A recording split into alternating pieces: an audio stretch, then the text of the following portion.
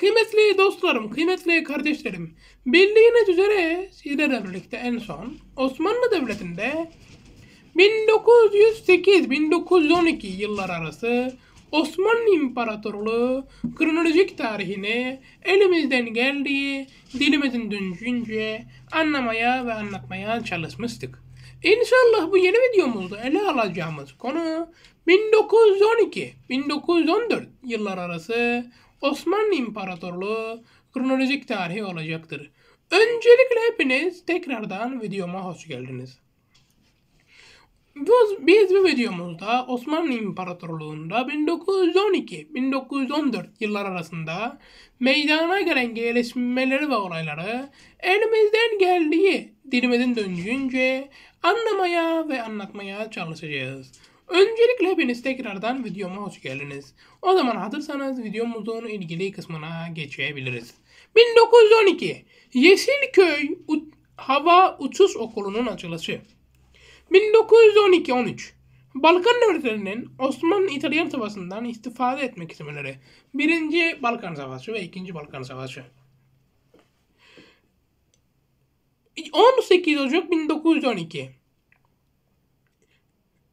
1908-1912 Osmanlı Mebusan Medresi'nin feshi. 18 Nisan 1912 İkinci dönem Meclisi Mebusanı'nın toplanması.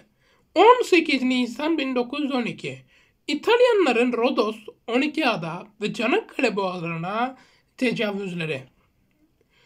19, 5 Ağustos 1912 İkinci dönem Meclisi Mebusanı'nın feshi. 22 Temmuz 1912 Gazi Ahmet Muhtar Paşa hükümetinin Büyük Kabine adı altında yeni kabineyi kurması. 15 Ekim 1912 Trablus ve Bingazi'nin İtalya'ya terki. Uşi, Uşi Antlaşması. Rodos ve 12 adanın İtalya elinde kalması. 29 Ekim 1912 Kıbrıslı Mehmet Kamil Paşa'nın baş, e, veziri, başbakanlığı ya da vezir azamlığı ya da hükümet başkanlığı e, adına ne derseniz. 29 Kasım 1912 Arnavutluğun bağımsızlığını ilan etmesi. 23 Ocak 1913 Babi Ali Başkanı Mahmut Söfket Paşa'nın sadareti. 30 Mayıs 1913 1. Balkan Savaşı'nın sona ermesi. 11 Haziran 1913 Sadrazam Mahmut Sefket Paşa'nın öldürülmesi. Şahit Halim Paşa'nın sadareti. 29 Haziran 1913 İkinci, e, İkinci Balkan Savaşı'nın başlaması. Kıymetli dostlar buraya kadar hızlı geçtim. Şimdi biraz yorum yapma zamanı. Ee, Birinci Balkan Savaşı'nda Osmanlı İmparatorluğu'na karşı Balkan devletleri, dönemin Balkan devletleri ittifak yaparak Osmanlı İmparatorluğu hazır İtal- İtalyan devletiyle savaştayken Osmanlı İmparatorluğu'nun güçsüz durumundan faydalanarak, faydalanarak kendilerine e, Osmanlı devletinden toprak koparmak istiyorlar. Ve bu konuda 1. Balkan Savaşı'nda kısmi bir başarı kazanıyorlar. Edirne dahi düşman işgali altına giriyor. Bulgaristan işgali altına giriyor.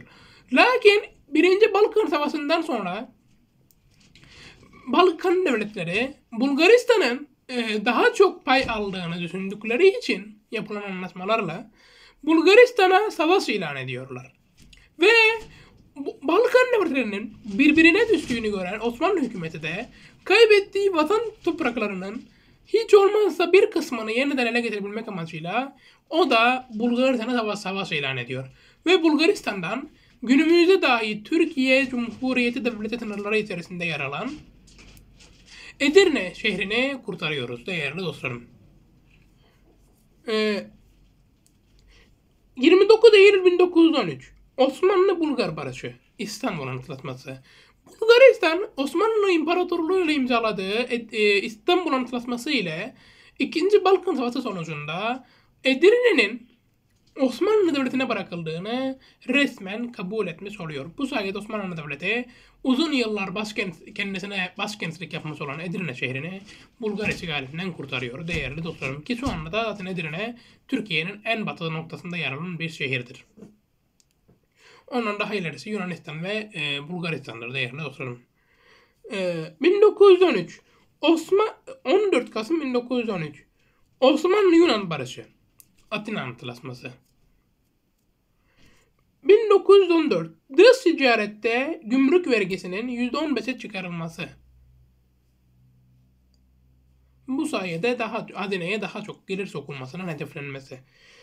1914 Islahi Medaris Nizamnamesi yani e, yeni bir ıslah kanunu yürürlüğe giriyor değerli dostlarım. Şimdi dostlar yine bu videomuzda da e, bayağı hızlı geçtim bunun farkındayım. Çünkü bunun sebebi sizlere e, yine bir video dinletmem lazım. Birinci ve ikinci Balkan Savaşları videosunu. Evet o zaman hazırsanız ben size o videomuzu açabilirim. Balkan Savaşları. Bulgaristan, Sırbistan ve Kar... Şöyle yapalım. Şöyle yapalım. Balkan Savaşları. Bulgaristan, Sırbistan ve Karadağ Krallığı'nın oluşturduğu Balkan Birliği'nin Osmanlı Devleti'ne karşı giriştiği büyük savaş. Bu savaş ile birlikte Balkan devletleri Osmanlı Devleti'nin Balkanlardaki topraklarının büyük bir bölümünü ele geçirecek ve savaş sonunda Osmanlı Devleti Edirne ve Kırklareli'ye kadar olan tüm topraklarını Balkan devletlerine bırakmak zorunda kalacaktı. Peki savaşın amacı ve nedenleri neydi? Hadi gelin daha ayrıntılı anlatayım.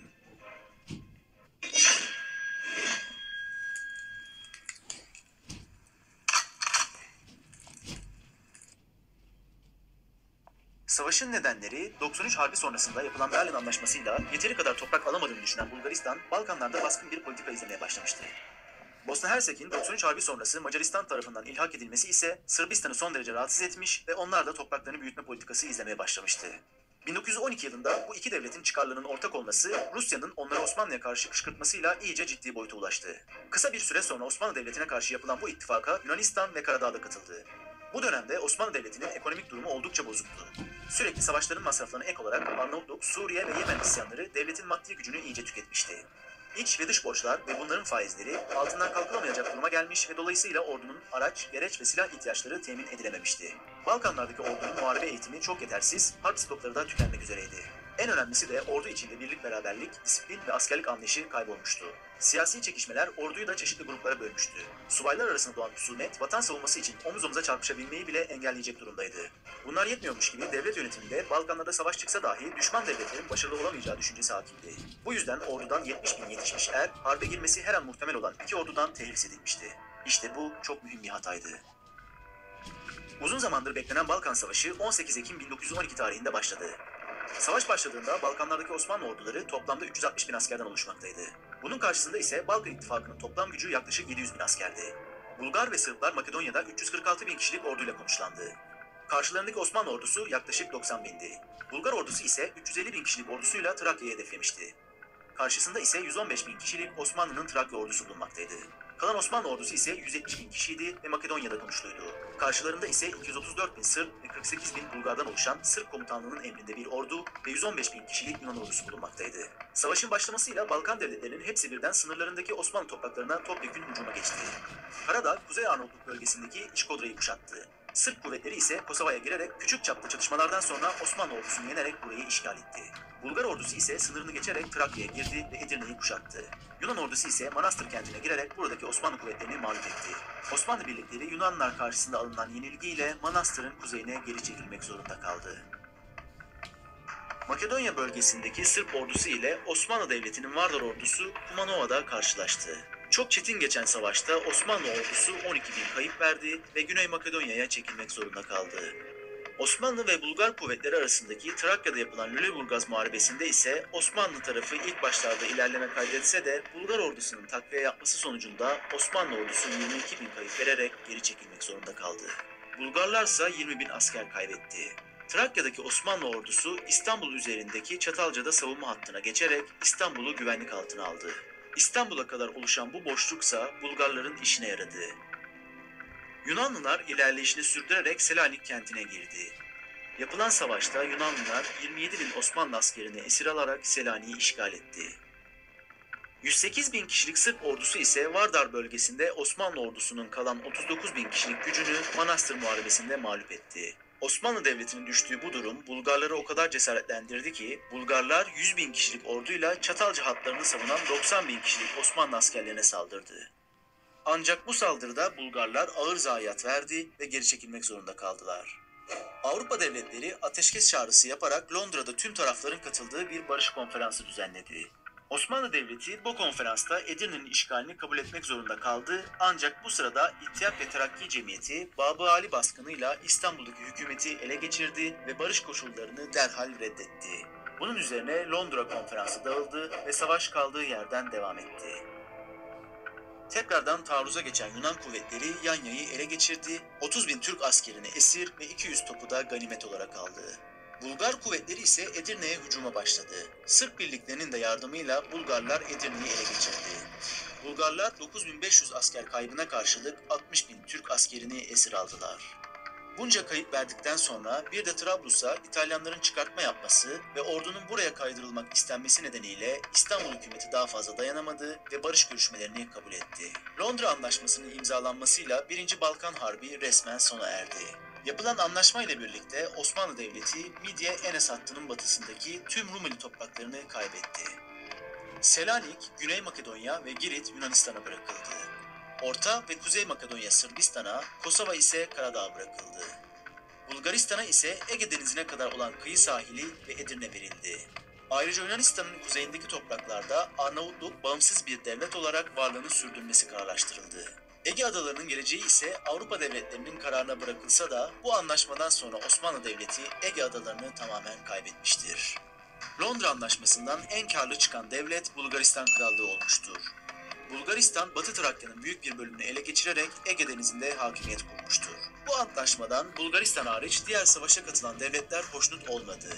Yunanistan, Karadağ, Arnavutluk ve Sırbistan Balkanların paylaştırılmasını adil bulmayarak toprak paylaşımının yeniden görüşülmesini istediler. Bulgaristan ise buna yanaşmadı. Bunun sonucunda Sırbistan, Yunanistan, Karadağ yanlarına Romanya'yı da alarak Bulgaristan'a tekrardan savaş ilan etti. Bu savaşın tek hedefi Bulgaristan'dı. Yunanistan, Sırbistan ve Karadağ devletleri üç koldan Bulgaristan'a girdiler. Ayrıca Romanya, itilaflı Dobruca bölgesini ele geçirmek üzere buraya 80 bin asker gönderdi. Bulgar ordusu yapılan savaşlarda üst üste mağlup olunca savunmaya çekilmek için birçok yerdeki askerlerini geri çekti. Bunu fırsat bilen Enver Paşa komutasındaki Osmanlı ordusu 21 Temmuz 1913 tarihinde Edirne'yi almak için Bulgar topraklarına girdi. Tek kurşun dahi atmadan Edirne, Kırklareli ve Dimetoka geri alındı. İkinci Balkan Savaşı Ağustos 1913 tarihli Bükreş Anlaşması ile sona erdi. Bu anlaşma ile birlikte Bulgaristan Dobruca'yı Romanya'ya, Kavala'yı Yunanistan'a vermiş ve Makedonya'nın yarısını Sırbistan'a bırakmıştır. Osmanlı İmparatorluğu ise savaş sonunda İstanbul Anlaşması'nı imzaladı. Bu anlaşma ile Kırklareli, Edirne ve Dimetoka Osmanlı İmparatorluğu'na geri verildi. Batı Trakya ve Dede Ağaç ise Bulgaristan'a bırakıldı. Ve Balkan Savaşları böylece fiilen sona ermiş oldu. Ancak bu savaştaki toprak paylaşımları gerilimi daha da arttırdı. Bunun sonucunda sadece bir yıl sonra Saraybosna'daki Avusturya veliahtına suikast ile Birinci Dünya Savaşı patlak verecekti. Birinci Dünya Savaşı'nı ve sonuçlarını buraya tıklayarak izin. Evet kıymetli dostlarım, kıymetli kardeşlerim.